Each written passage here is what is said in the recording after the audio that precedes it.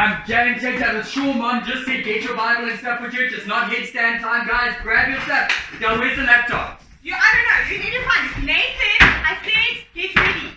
But I'm hungry. Nathan, you ate five minutes ago. Get your Bible quickly. We need to start. Guys, everybody. Where's the remote for the TV? Anybody know? Where's my bottle? I don't. Where's your Bibles, guys? We need your pencils and things. Church is starting literally in one minute. Come here. Oh, see? Pause! We found that this is not the best way to make the most of church at home.